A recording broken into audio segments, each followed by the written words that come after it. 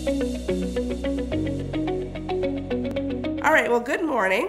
Um, I'd like to thank you all for joining us and welcome you to our Janet L. Norwood Award ceremony. For those of you who don't know me, my name is Charity Morgan. I'm an associate professor and the vice chair of education for the Department of Biostatistics here at UAB. I'm also the chair of the Janet L. Norwood Award Committee.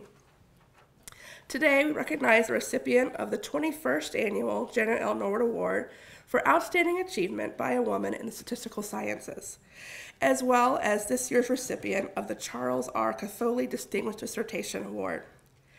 Um, just a note, in 2020 and 2021, we held this award ceremony virtually, and this is the first time we are back in person since the pandemic, so thanks for coming. So because of this, we've brought back the Katholi Award recipients from 2020 and 2021 to be recognized, uh, as well as this year's recipient. On that note, I'd like to turn things over to Dr. Chichi Aban to present the Katholi Award. Good morning, everyone, and Again, if you don't know me, I'm Chichi Aban. I'm a professor in biostatistics. And it is my great pleasure to um, talk about the Katholi Award and also to give the uh, Katholi Award to the this year's um, recipient as well as recognize the last two years' recipients. So the Katholi Award started in 2008. So this is now our 15th year of doing the Catholi Award and is to recognize accomplished graduate student in our doctoral program, um, and more importantly, also to honor um, our beloved Professor Chuck Katholi, Charles, we fondly call him as Chuck. Um, and just to give you a background on um, Dr. Katholi, he is um, he has contributed a lot to the department. He has a lot of history um, of the department because he started at UAB in the Department of Biomathematics and also Biostatistics then in since 1970. So he has been here for a while and have seen a lot of um, changes and evolution to the department. I just was just talking to him and he said that he he's actually working and putting together a history of the department, which I think is going to be great um, for us all to know um, how it all started. Um, he was previously the chair of the department and has been the prof uh, professor emeritus since 2003, but has been very active in teaching and research even after retiring. So a lot of people are changing the definition of retirement, and that includes Chuck. Um, over the years, you can see how much he loves teaching. I mean, really, his dedication in teaching. Um, he loves to share his knowledge to the students, and because of that, students respect him a lot. And he has, um, you know, he's very accessible to the student, not just inside the classroom, as well as outside the classroom. He has been mentors to a lot of students. He has been mentors to us faculty members and has been a great friend to a lot of us. Um, definitely has a lasting impact in many people, and it's just too many things to list all the things that he has achieved in the department. Um, if you don't know him yet, especially the new students, please feel free to drop by his office. He's still there every day and um, you will probably, the doctoral students will be seeing him in advanced inference next year, so, or next fall, uh, spring. So, so that would be a, a great honor for you to be um, in his class. Um, so it is truly an honor to be presenting this award to pay, pay tribute to Dr. Katholi, um, a great educator, mentor, and a very dear friend. So now I'm going to present the 2022 recipient of the Charles R. Katholi Distinguished Dissertation Award. And this year it goes to Dr. Boy Guo. His dissertation is titled Spike and Slab Additive Models and Sub uh, Scalable Algorithms for High Dimensional Data Analysis. And the chair is Dr. Nengjun Yi. I don't know if he's here. Um, just to give you some background on Dr. Guo, he joined the doctoral program of our department in the fall of 2017. Um, he came with a master's in statistics from University of Illinois Urbana-Champaign. And while at UAB, Boy has just been very active in school organizations, department activities. He has been mentoring um, doctoral student, So, you know, he's been great contributor to the department and a great student. Uh, so, and, but what I saw in, um, another interesting thing that I saw in Boy's um, CV is probably, I don't know you know, but he's a member of the University of Illinois rowing team. so you should show us how to do rowing next time. But it is really my great pleasure and the department's pleasure to um, present this award to Dr. Boy Guo.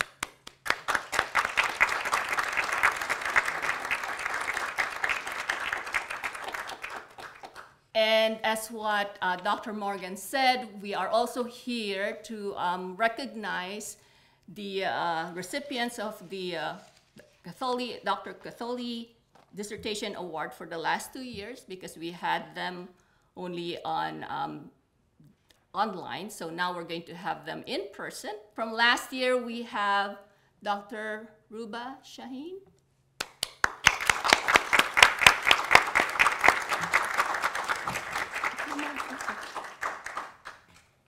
And her dissertation is about the likelihood-based inferential methods to analyze hybrid clinical trials. And 2020 recipient is Dr. Justin Leach, and his dissertation is on incorporating spatial structure into Bayesian variable selection using spike and slab priors with application in imaging data.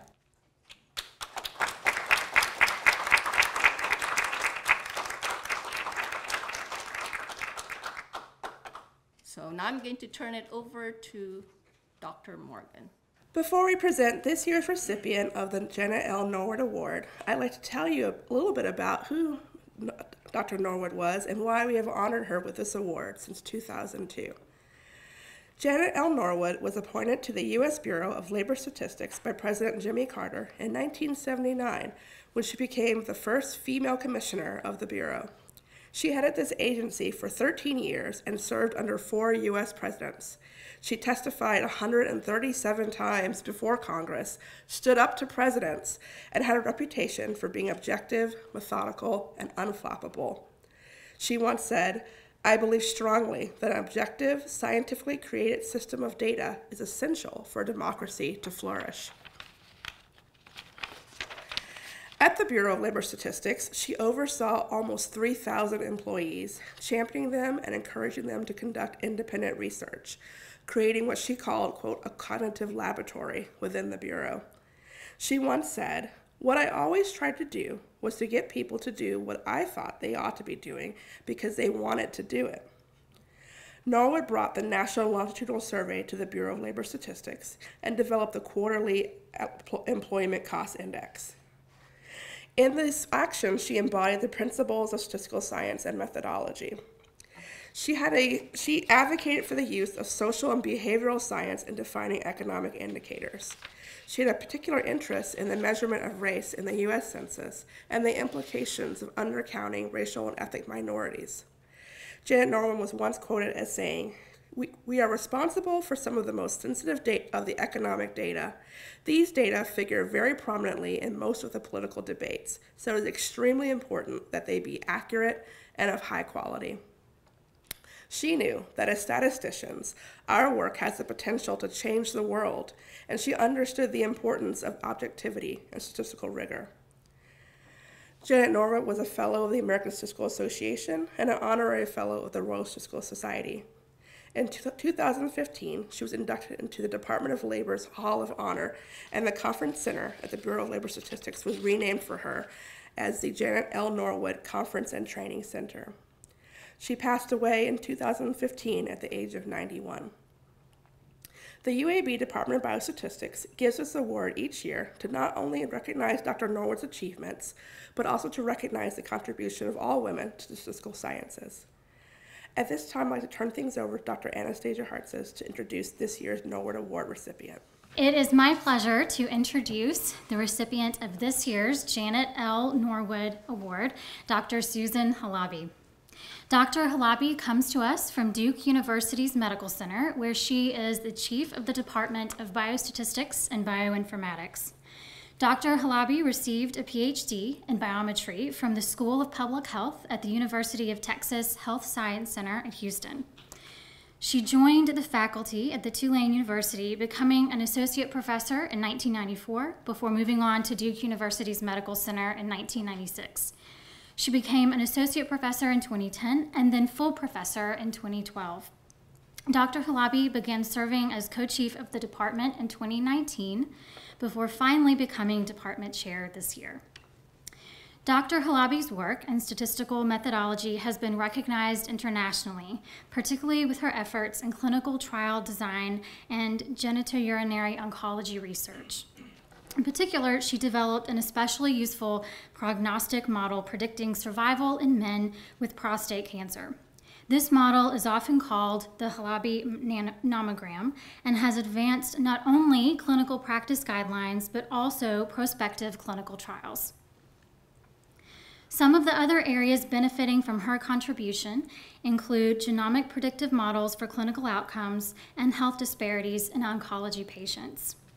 She has authored over 200 publications, contributed chapters to many, to many books, and edited three books on clinical trial design. In addition to her many research related roles, she has also been training oncology researchers and mentoring students and early career faculty. We on the Janet Norwood Committee were particularly moved by her enthusiasm of her nominators, who were emphatic in indicating her passion and contributions to the field and her encouragement to those that she mentors. In a truly demonstrative act of her commitment to support training for future statisticians and researchers, Dr. Halabi donated all proceeds from a book that she edited to support this goal. We are not alone in recognizing Dr. Halabi's contributions to research and statistics. Not only is she a fellow of the Society of Clinical Trials and the American Statistical Association, she was the first female she was the first female statistician to be elected to, as a fellow of the American Society of Medical Oncology. Dr. Halabi has also served as the president of the Society for Clinical Trials and last year was honored with the American Statistical Association's Statistical Partners in Academia, Industry, and Government Award. Please join me in welcoming Dr. Halabi. Thank you for the very kind introduction. I would like to take a moment and uh, thank UAB for uh, having me. This is, uh, I'm humbled by the award. Um, and I would like to thank uh, my nominator, Dr. Virginia Howard, and uh, the committee for their uh, efforts in uh, looking at um, uh, potential nominees. Uh, special thanks to Dr. Charity Morgan, Dr. Anastasia Hartz, and, um, and I'm really delighted. I spent yesterday afternoon at UAB, and I'm impressed by the School of Public Health. Uh, public health has been my love from day one. And I'm just impressed by all the things the university and the commitment of School of Public Health to students. You are the future. You are the future of public health. You're the future of medicine. So what I'm going to start uh, by saying uh, here, uh, acknowledging the prior Janet L. Norwood Award recipients. I'm the 21st, but as you can see from this enormous, prestigious list of statisticians, no two are the same. Everyone is unique. Everyone is bringing their strength and their talents. This is very important. So thank you, Janet L. Norwood for being a pioneer to follow in your footsteps. And thank you, UAB, for having this award, and special thanks to David Allison, Dr. David Allison, who's, who established this award. And I want to take a moment and thank my parents who uh, ingrained in me at a very young age the importance of education and were very supportive. And my husband, who has been there behind me, behind every successful woman, there is a man, and there are several women. So this is very important to note. And I would like to take a moment to thank my advisor at the American University of Beirut in Lebanon, Dr. Huda Zurayk, who was my first advisor. I was in the first cohort of biostatisticians who earned a bachelor's degree in biostatistics. And in UT, I would like to acknowledge Lem, Dr. Lem Moyé, Dr. Barry Davis, who served as my advisors on the master's and the PhD committees, and Dr. Margaret Spitz and Melissa Bondy at the UTMD Anderson, who served also as the role model. So as you can see, there were many, many people on this journey that I have to thank, and I probably will take a whole hour thanking everyone while I was at Tulane, I met enormous women uh, Dr. Ruth Giles, Dr. Janet Hughes, Dr. Richard Davis, and at Duke, when I first started my career, Dr. Barbara Rimer and Dr. Joellen Schildkraut. So you could note that those women, they're not all statisticians. I've worked with epidemiologists, I've worked with clinicians, I've worked with um, basic scientists. And these are the advocates, these are the faces of advocates that keep supporting you. And sometimes those advocates you develop not only in school, it could be while you're serving on a study section or being a reviewer for a journal. There's always unexpected things happening. And I'm really grateful for all the people who put me today because the opportunities came and they encouraged me at every step of the way. So, as women, we face a lot of challenges. How do you balance work life? This was highlighted during the COVID pandemic. Women ended up paying a higher price than men. They had to, uh, some women had to drop their careers. There's issues in equal pay in 21st century United States, women are not paid the same as men. There is an issue of childcare. How do we navigate all that? And as uh, Janet Norwood said, women have to take advantage of the opportunities presented to them. It's often is not isn't quite as straight a career path at, as it is for men. So you have all these barriers, gender bias, tactics, women may be less assertive. There are structural barriers, limited access to network or female network, family responsibilities, and child care. And I want to say an, a really important quote here that uh, Janet Norwood mentioned. I think for a married woman to have a career, she needs to have a husband who is very secure and not competitive with her. So this is really important. So, how do we overcome challenges as a woman? Again, this is from my personal experience. Commitment and discipline are the paving stones of progress. We all work very hard, and it's so easy to give up. But every time a grant is rejected or a paper, after 24 hours of cooling period, pick up the pieces and continue. You don't give up. Seek mentors mentors are all around us. We don't think of our colleagues as mentors. We don't think sometimes of our reviewers or editors, but mentors come from every aspect and not necessarily dis- our discipline. You may develop career building relationships. I have still excellent relationships with my mentors that I've met 20 years ago, and I hope to continue until the very end. Uh, I think the fourth point is so important. We need to pursue opportunities rather than wait for them. We are always presented with opportunities, but we're overwhelmed with our current responsibilities, and we always say, We'll do it later, I'll think about it. And I'm sure all of us have experienced that.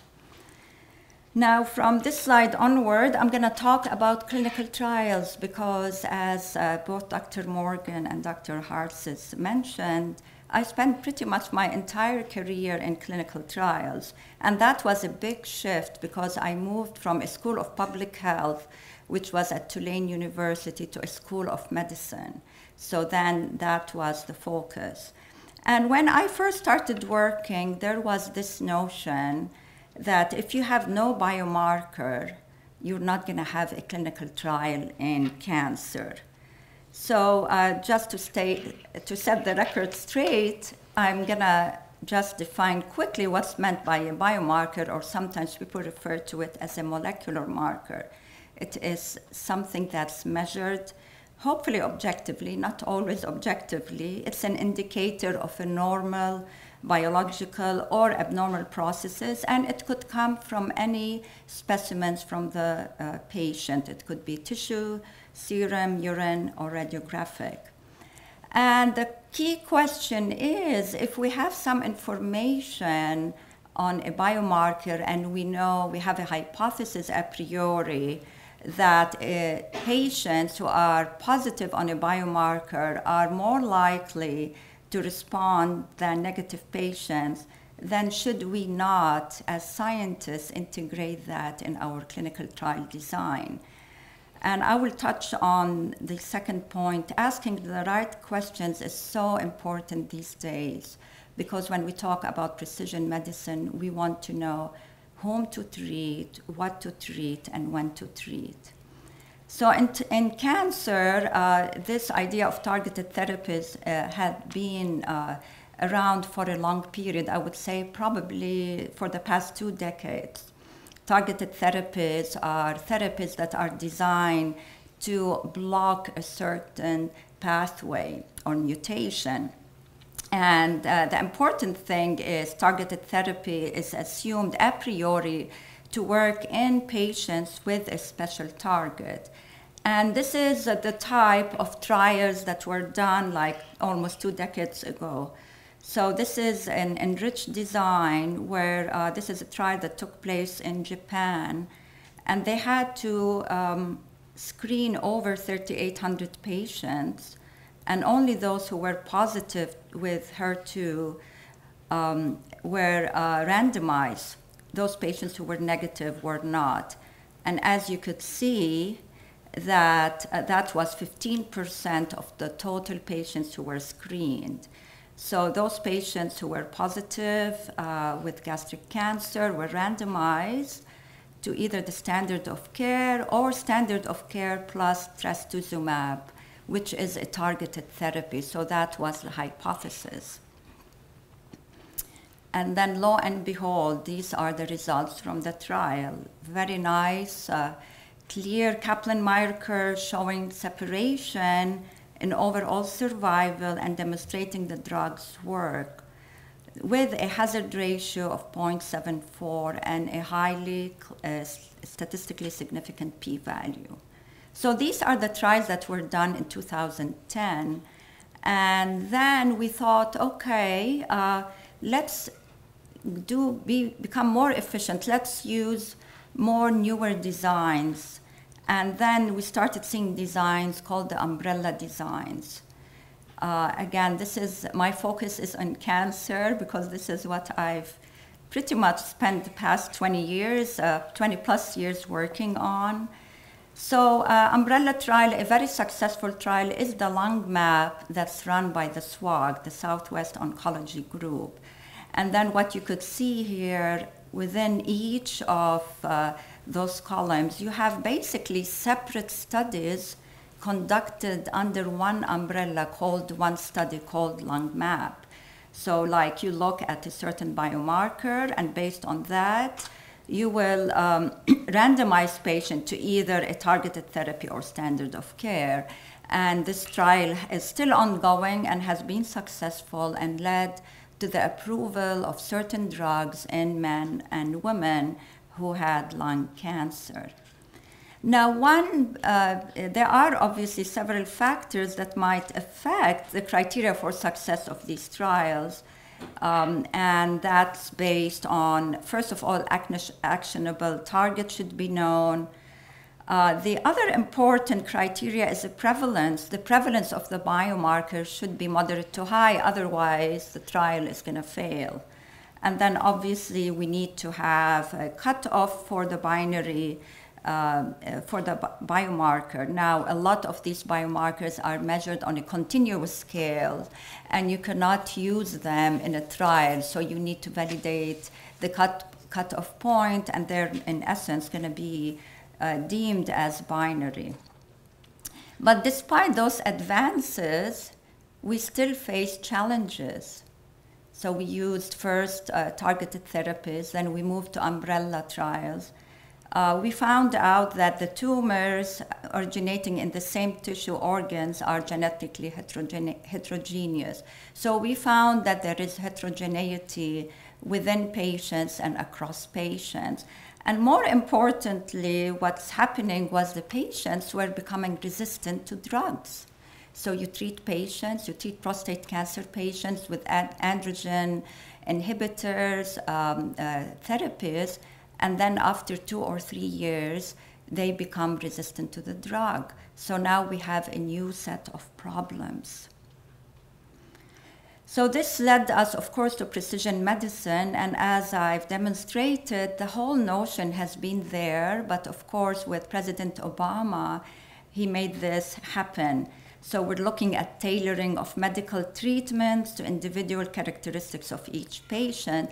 And here, when we talk about individual characteristics, we're focusing on a biomarker or a mutation. So we're looking at biological um, characteristics of patients. And in the hope that we can optimize therapy, can we focus as a scientific community on finding the patients who will benefit from that treatment, but at the same time minimize their adverse effect? So, definitely, we want to look at efficient uh, designs. And then, of course, with the introduction of all the omics, whether you look at DNA, RNA, images, uh, uh, single cell uh, uh, data, whether you look at microbiome, all that data, we have massive data sitting there.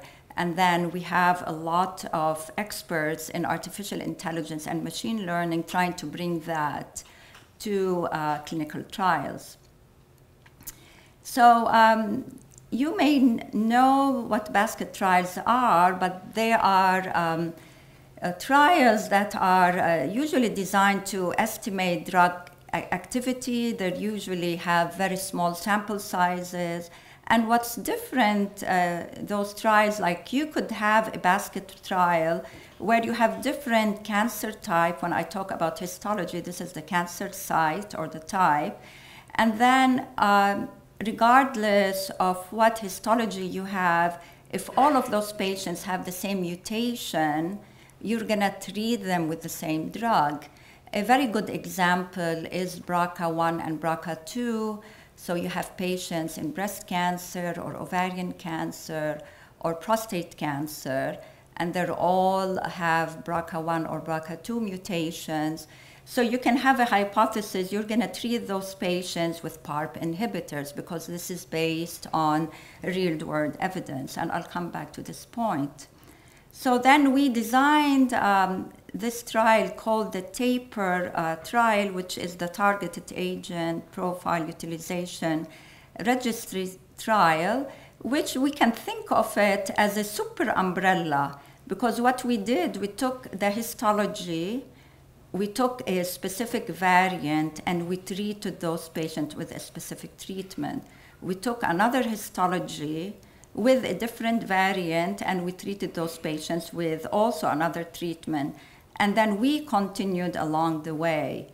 So actually, this study is, um, I would say, the largest basket trial that I know to date. It had enrolled 593 cohorts where every cohort is composed of histology, variant, and a certain drug that's being treated, with over uh, 2493 patients. And the primary endpoint, uh, from a statistical point of view, the trial is really simple. It's a, it's a phase two trial. We use Simon optimal design, and we use a primary endpoint of clinical benefit rate which is defined as either complete or partial response at eight weeks or stable disease at 16 weeks. So that was an example of a phase two, but let's look at what's happening now in medicine. Right now, they are conducting trials where they're looking not only at one marker, but they're looking at uh, several markers at the same time. And uh, this study was presented last February at a national meeting. It's the Magnitude trial, where they took patients uh, with prostate cancer who had homologous recombination repair, and based on their biomarker status, they randomized them to either a PARP inhibitor or not. And uh, lo and behold, here the result uh, from the trial based on the uh, primary endpoint, which is radiographic progression free survival. And then in patients who had BRCA1 or BRCA2 mutation, you could see a very wide separation uh, with a hazard ratio of 0.53.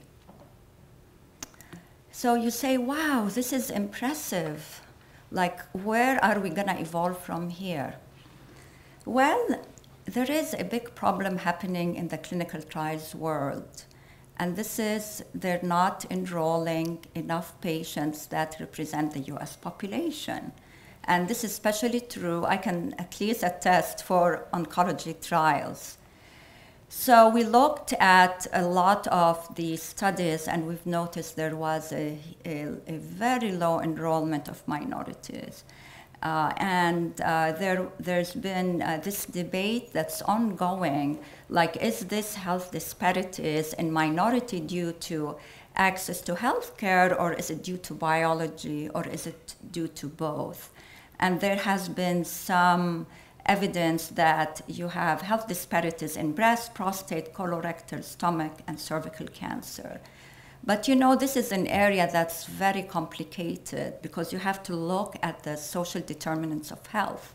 We cannot, this is where the School of Public Health can do great work. I think uh, investigators in the School of Medicine are lagging behind uh, in terms of social determinants of health. And uh, I looked, I was very much interested actually the first time I looked at using clinical trials data, I was going to ask these questions Do African American men who are enrolled in clinical trials that I've been designing, do they have worse outcome or not? So we know based on the SEER registry that the incidence and mortality is much higher, much, much higher in uh, African American men than white men. But then when I looked at the data, there was really no differences. And I was perplexed. So the first time I did the, this kind of analysis was in 2010, and I submitted the, the article to several journals, and everyone would would reject that article. And the reason because we did not know why we see these differences. Even when we adjusted the hazard ratio, for important factors that were measured, African American men appeared to do better, but I wasn't convinced. And I'll tell you why. So, when we looked at the distribution of uh, the prostate cancer patient by racial groups, uh, th- this is the distribution. So, you could see that African American men were only 6%, Asian men 5%, and 4% were others. Actually, in many of those clinical trials were conducted globally, so race, ethnicity was not captured. And how do you analyze data when you bring in global trials in the mix with US conducted trials? So then we stratified by the type of sponsor. So we looked at the National Cancer Institute, National Clinical Trials Network. And then we noticed that uh, there was a better representation of African American men in those prostate cancer trials that I analyzed versus industry, which is only 4%. Now, of course, this is only prostate cancer, so the question comes up well, what about other cancers? So I had access, uh, this is unpublished data from the the NCI National Clinical Trials Network. This is based on 53,689 patients. And this is the distribution by race. And as you could see, uh, Asian, it's below uh, what the US population is. African American, the projected US population is 12.6.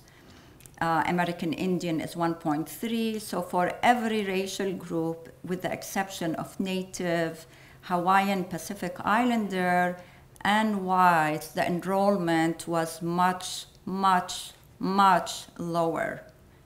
This is the 21st century. How can we accept that? And then it looks even worse when you look by Latino. Uh, we enrolled only collectively 7% when the US population is 18. So there are obviously challenges, global challenges, because only 3% of cancer patients participates in clinical trial. There's always a hate of placebo, and in oncology trial, everybody loves to use placebo because it's a low bar, right? Drug companies can zoom very quickly, they can demonstrate benefit. But there's also other reasons, lack of awareness about clinical trials. Also, there's up to 40% of oncology trials, uh, trials are not completed due to poor accrual. But uh, here I'm going to share with you some daunting statistic about oncology facts and figures. So in 2022, there were only 13,365 hematology oncologists in the U.S. 35, almost 36% were women.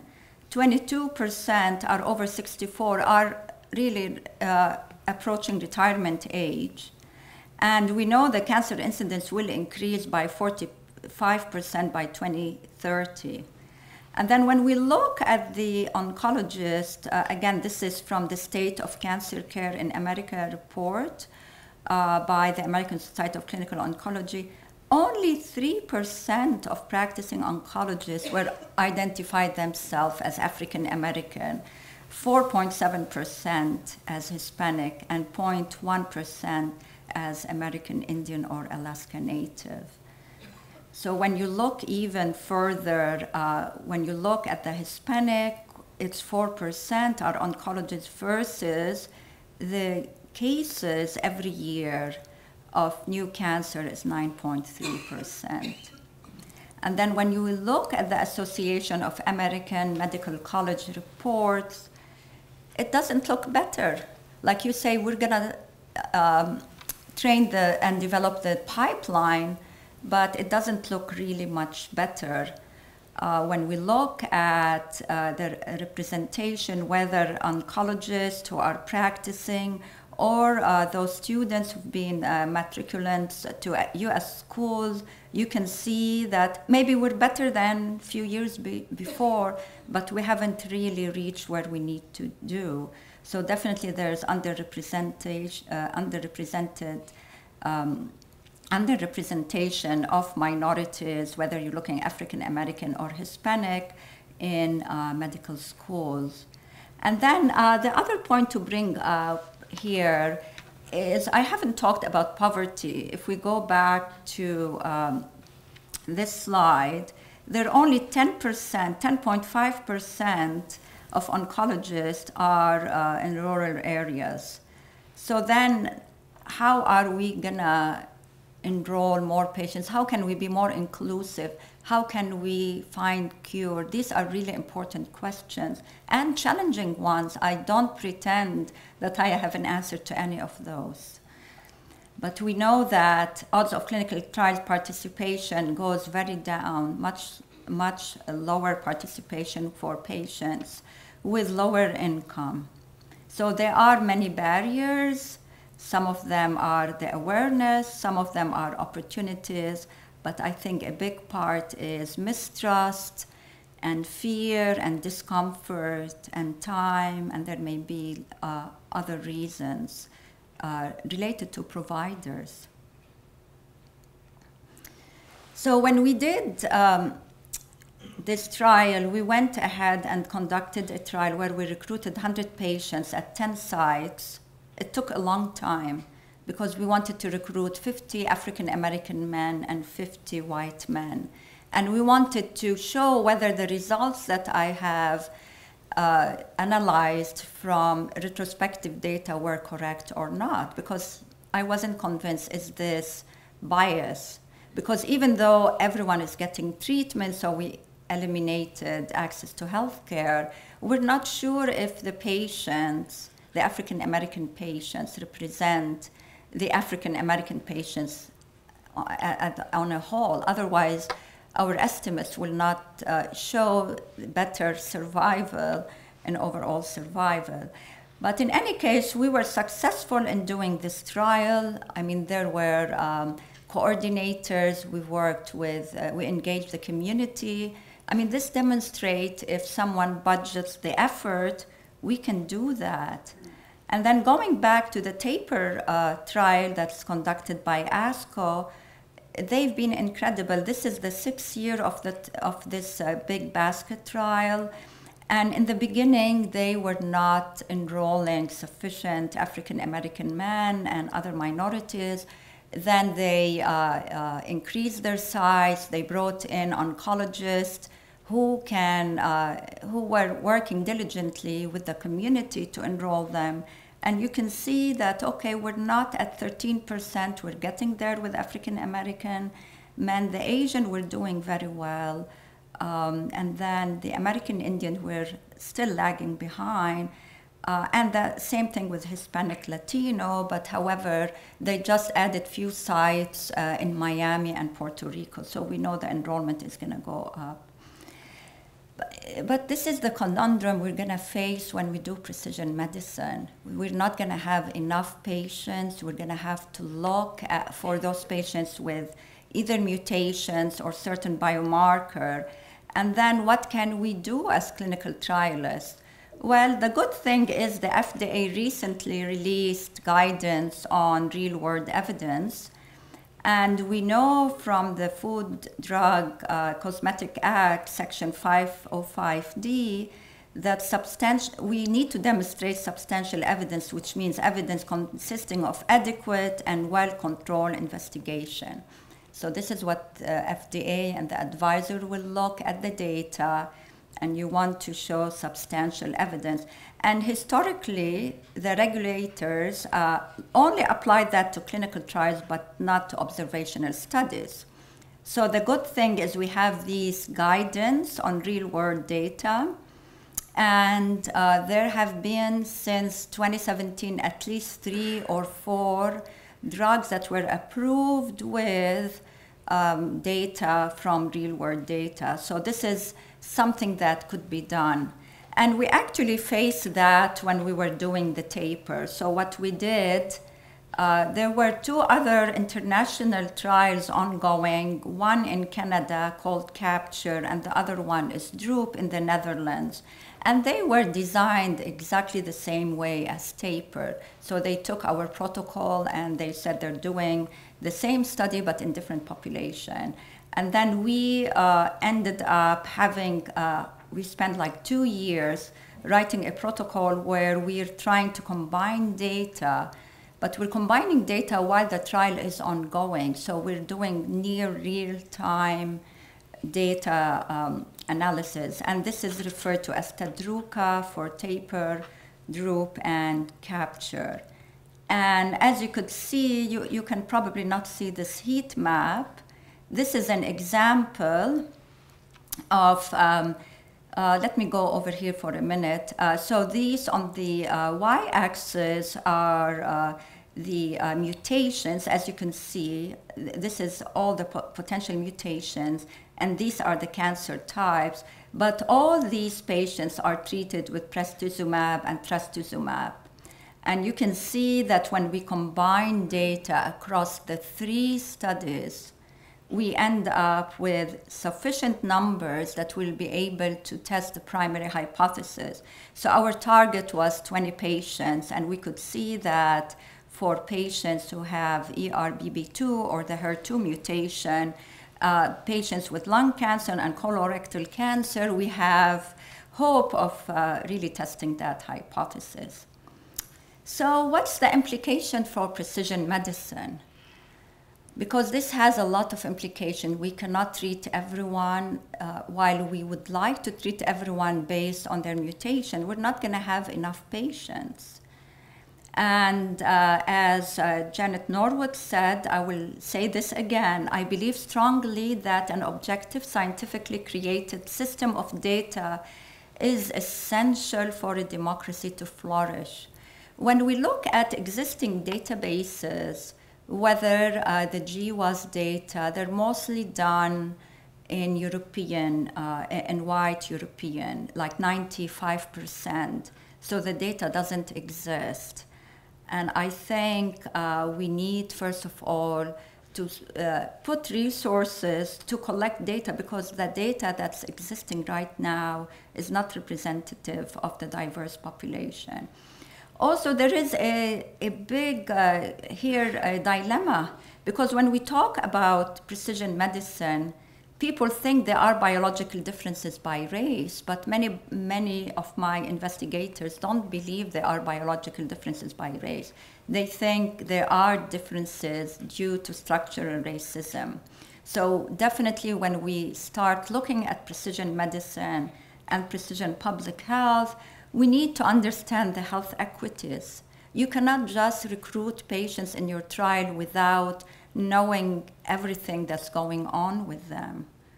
So uh, I would say any data analysis that's based on these databases will probably be biased, including my study. All I can say that the patients who were enrolled on those trials did better, but they do not represent the general population.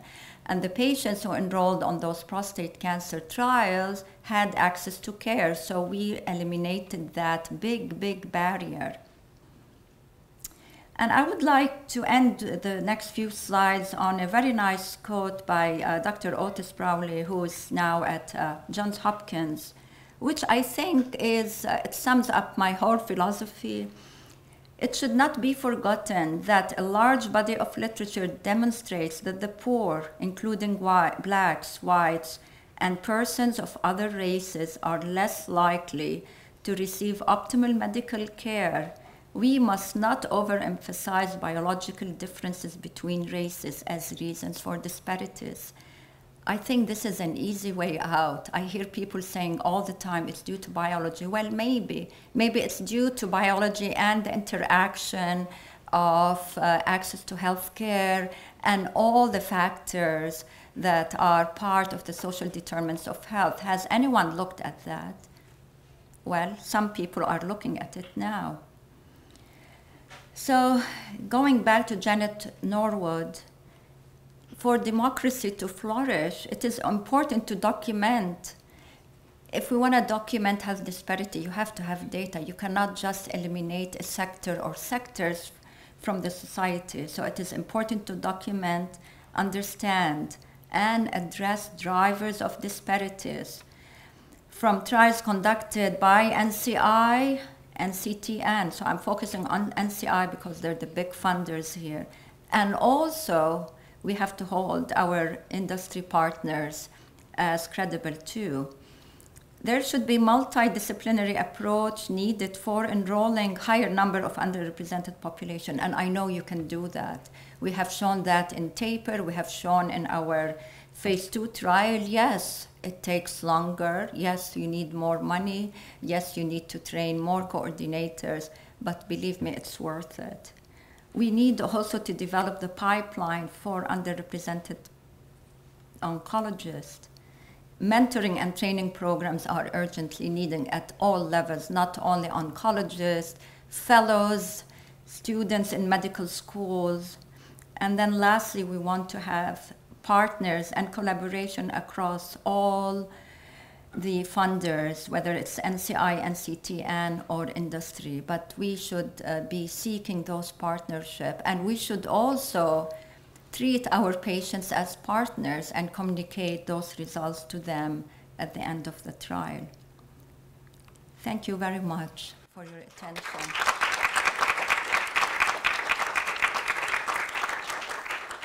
So, on behalf of the UAB Department of Biostatistics, I'm honored to present you with the Janet L. Norwood Award for Outstanding Achievement for a Woman in Statistical Sciences. Thank you so much. I'm deeply honored. Thank you so much. Thank you. Wonderful. Thank you.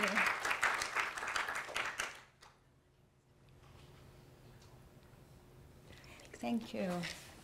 Thank you all for attending, and I uh, hope the younger generation, you, our future is in, is in your hands. So uh, run with all those ideas. There's, um, I haven't had time to talk about what it means for a student in biostatistics or, or epidemiology. You have to learn biostatistics, you have to learn epidemiology, you have to learn biology.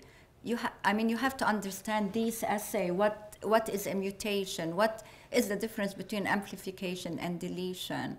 Uh, you have to be part, an integral part of team science. This is becoming way more difficult than when I first started working as a statistician. Thank you all for attending my talk and having me.